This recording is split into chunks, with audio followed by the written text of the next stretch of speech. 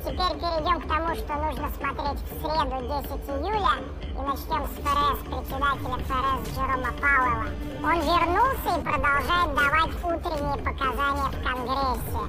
На этот раз перед Комитетом Палаты представителей по финансовым услугам.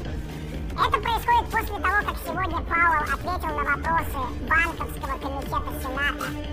Председатель ФРС заявил, что Центральный банк все ближе к тому, чтобы чувствовать себя комфортно по поводу снижения процентных ставок. И продолжая разговор о ФРС, завтра в течение дня прозвучит еще один раунд комментариев ФРС, включая президента ФРС Чикаго Остина Гулсби и управляющие ФРС Мишель Боуман и Лиза Кук.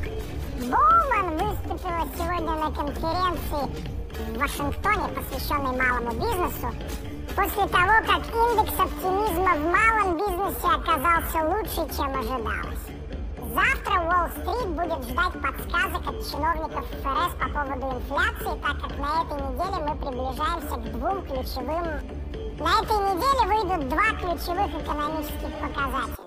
Индекс потребительских и производственных цен. И, наконец, мы получим немного данных по жилищному строительству в виде заявок на ипотеку на прошлой неделе.